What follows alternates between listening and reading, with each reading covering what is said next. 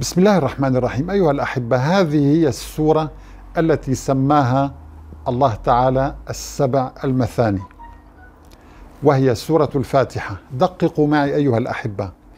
حرف الألف تكرر 22 مرة. نرى اللوحة أمامنا. حرف الألف باللون الأحمر تكرر 22 مرة. حرف اللام بالأزرق تكرر أيضا 22 مرة في سورة الفاتحة كاملة. حرف الهاء باللون الأخضر خمس مرات فقط.